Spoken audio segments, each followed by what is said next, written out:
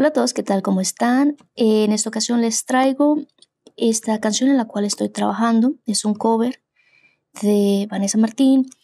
Em, y bueno, no me voy a enrollar tanto, vámonos al punto, cómo suena esto y aquí les pasaré algunos, algunas ideas, algunos tips de cómo hacer esto, ¿ok? Primero escuchemos. Espérenme, espérenme, porque tengo el BPM mal. 90, ahí está.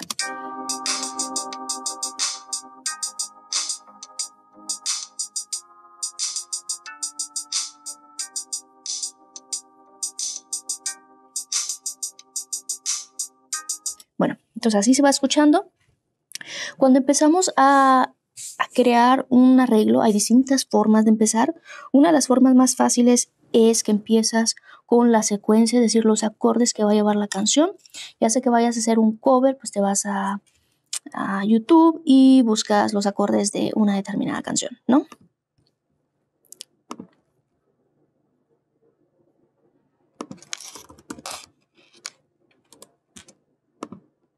Por ejemplo, aquí me voy y doy clic acá y busco los acordes de la canción. En este caso, aquí los tengo, que son los que estoy utilizando, ¿no?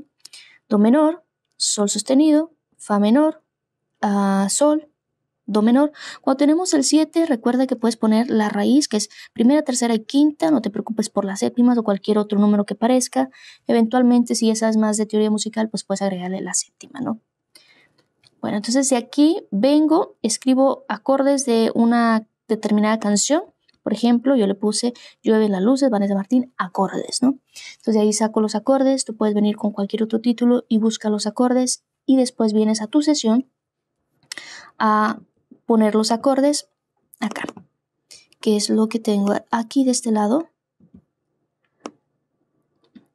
Aquí tengo mis acordes. Entonces ahí tengo el acorde de Do menor, acorde de sol sostenido y los demás acordes que venían ahí en, la, en lo que estábamos viendo, ¿no? Entonces aquí lo puedes, esto lo puedes grabar con tu teclado o puedes venir y editarlo y hacerlo con tu, em, de esta manera en el piano roll. por ejemplo, aquí puedo poner las notas, puedo alargarlas, puedo quitarlas, etcétera, etcétera. Y aquí puedo editar, ¿no? Prácticamente. Funciona igual si lo grabas desde tu teclado, se va a grabar en forma de MIDI. MIDI suele verse de esta forma, ¿no?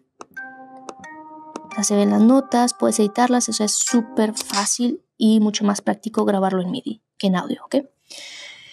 Bueno, una vez ya tengo aquí mi secuencia, Abajo eh, le he colocado pues los bajos del acorde, por ejemplo el acorde de Do menor le pongo el Do, el acorde de Sol sostenido le pongo el Sol sostenido, este es el acorde de Fa menor, le pongo el Fa, el acorde de, de Sol creo, creo que será Sol sostenido, bueno, algo así, me veo.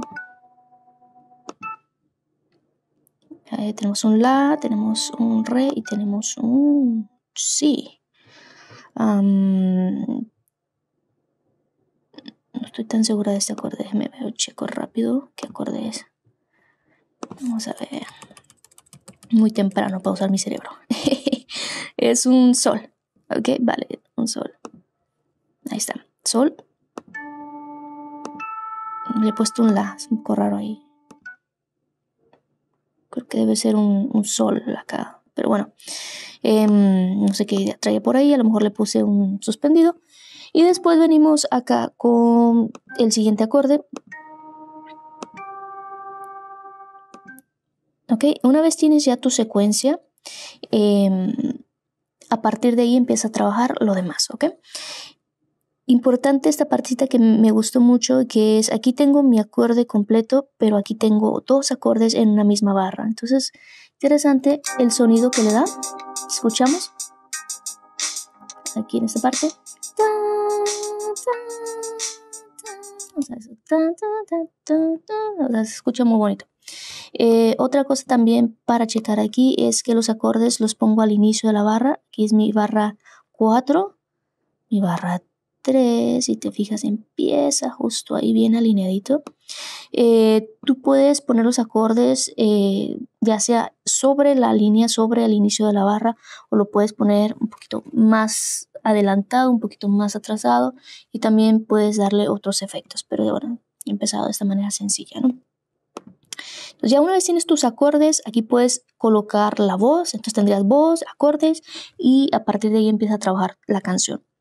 Si no tienes la voz, pues bueno, como en este caso no la tengo, entonces nada más me vengo y trabajo los acordes, ¿no? Siempre ayuda mucho tener la voz como para tener más referencia de, lo que estamos haciendo, pero no es indispensable a fuerza, ¿no? Y después vengo y coloco las baterías. Entonces es mucho más fácil trabajar de esta manera. Tienes tus acordes, luego vienes sobre las baterías. En este caso, así es como tengo acá las baterías que le he colocado. Vamos a ver el piano roll. Y recuerda que yo estoy utilizando Logic Pro X, pero es lo mismo si tienes cualquier otro programa de grabación. La teoría, todo esto que estamos viendo es lo mismo. Vas a tener 16 cuadritos en tu piano roll, colocas cada una de las notas, etcétera, etcétera. Es lo mismo, ¿vale?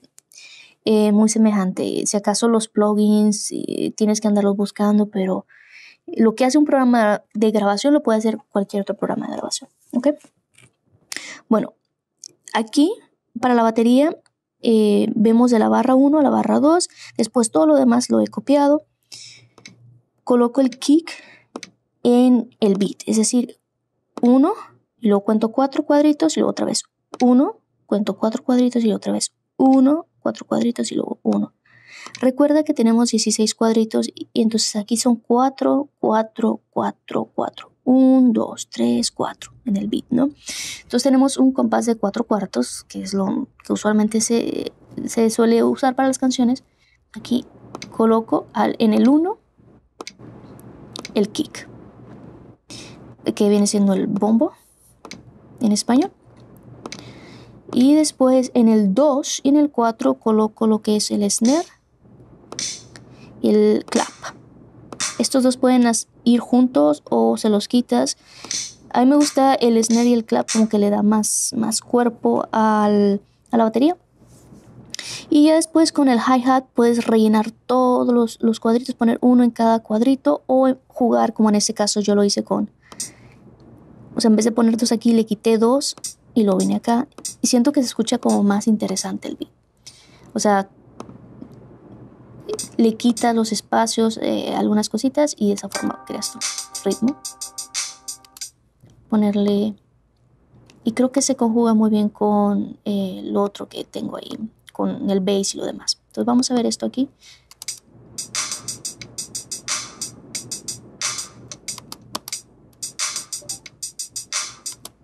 ¿Ok?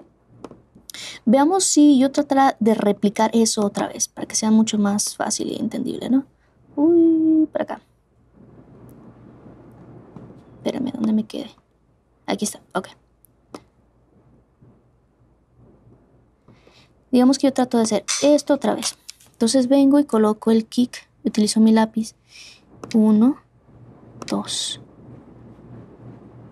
tres, cuatro. ¿Ok? Cuento 1, 2, 3, 4, 1, 1, 2, 3, 4, 1, 1, 2, 3, 4, 1, ¿ok? Y en el 2, que sería aquí, coloco y veo dónde está el snare, que está sobre esa línea. Digamos que vamos a ponerle acá el um, para lupear. Pam, pam. Este es un beat súper básico, obviamente se escucha así lento, pero digamos que yo vengo y coloco aquí 150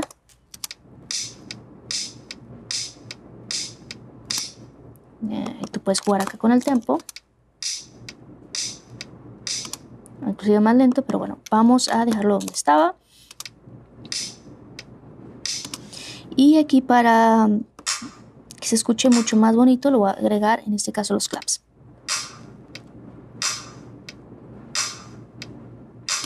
¿Ok? Y después vengo con los hi-hats que están en el, en el F sharp aquí puedo rellenar todo así copiar esto para acá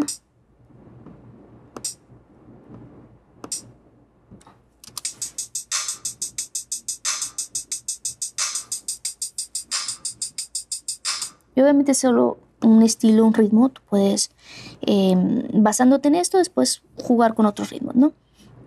Digamos que yo le quito esta de aquí, le quito uno acá, unos dos por acá.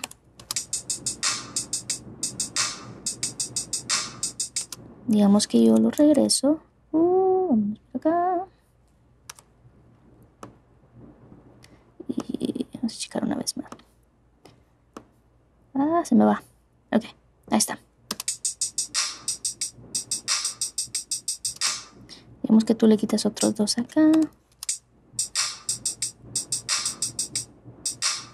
Es decir, puedes jugar con los hi-hats para crearle un estilo, un ritmo que tú gustes. Igual acá le puedes agregar otras cosas. Por ejemplo, acá el snare. Le puedo agregar otro snare para que tenga más, todavía más crunch, más fuerza.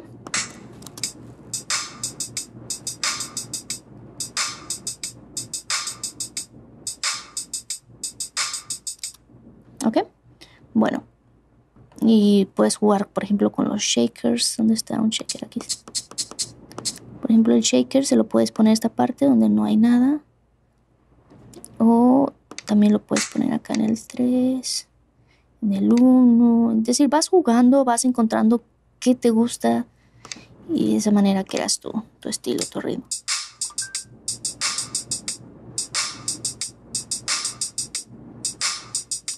¿Ok? Bueno, entonces ahí tenemos lo que es la batería. Entonces tengo acordes, batería y vámonos a la parte del bajo. El bajo me encantó, me encantó, definitivamente me encantó. Cómo suena todo.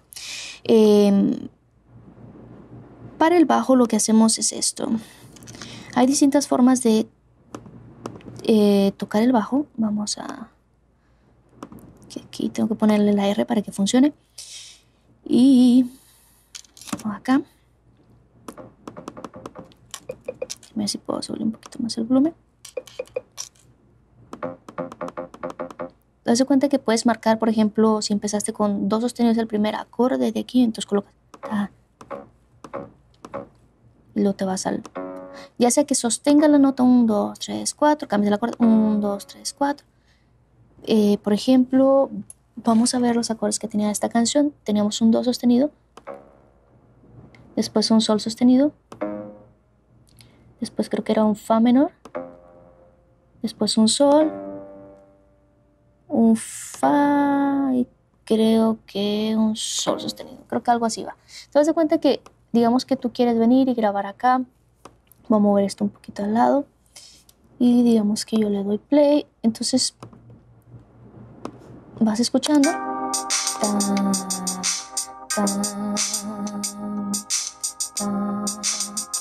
Perdón, me equivoqué.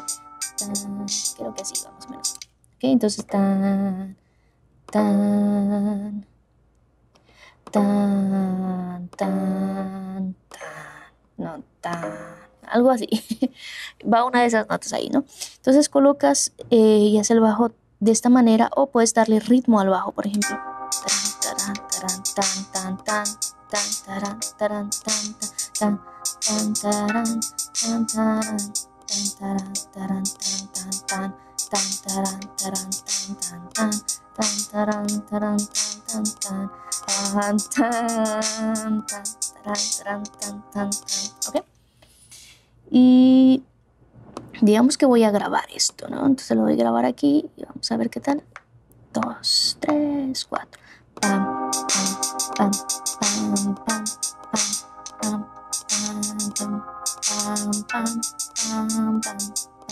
Hasta ahí, ¿no?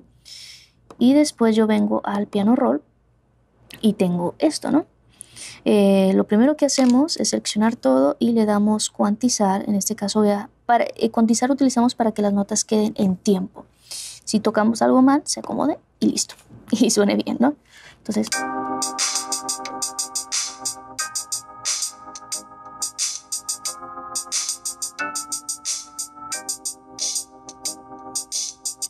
Es decir, podrías dejarlo así o puedes de repente jugar un poco más a eso. Le puedes poner...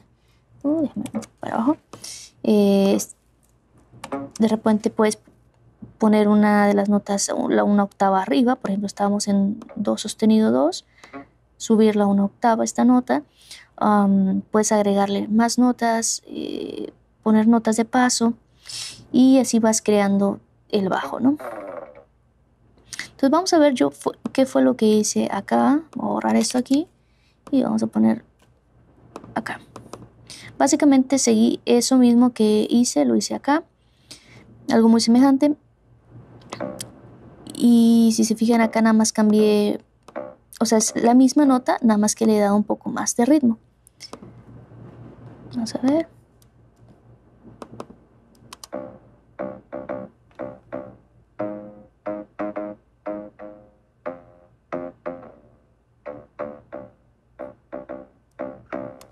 Cuando estaba utilizando el bajo, lo que traté de asegurarme es que una vez me gustó más o menos una forma de llevar el ritmo, es decir, puse unas notas más largas, unas más cortitas, unos espacios. Después hago lo mismo en todos los demás, nada más que obviamente aquí tenemos, eh, tenemos aquí el Do sostenido, y luego acá tenemos el Sol sostenido, después aquí un Fa, después aquí el Re y después aquí el, Do, ¿no? Perdón, el Do menor, me equivoqué, Do menor. Entonces, lo que hacemos, porque estaba tocando el do sostenido, perdón, em, es que seguimos esto mismo. Por ejemplo, un, dos, tres cuadritos, un, dos, tres cuadritos por acá, un, dos, tres eh, cuadritos. Bueno, en este caso, esto está más corto porque ahí es donde van los dos acordes juntos. Aquí un, dos, tres. Y luego un espacio, un espacio y luego una chiquita, una chiquita. Ahí está, una notita chica. Y después dejo un espacio y luego uno, dos, uno, dos 1, 2, es un poquito más grande. Entonces, eh, la idea es que, por ejemplo, esta partecita es un poquito distinta a esta, pero me gustó cómo sonó. Entonces, al final del día lo que importa es si te gusta cómo suena lo que, eh, lo que vas haciendo, ¿no? Entonces, si te gusta, lo dejas, si no te gusta, pues lo corriges y lo acomodas y todo esto, ¿no? Eh, al final lo que importa es tu oído, tus gustos musicales y tú estás produciendo, entonces tú decides qué es lo que es correcto en tu producción, ¿no? Bueno, y así es que va quedando esto. Em, ya por acá, eh, aquí vemos, por ejemplo, que tenemos,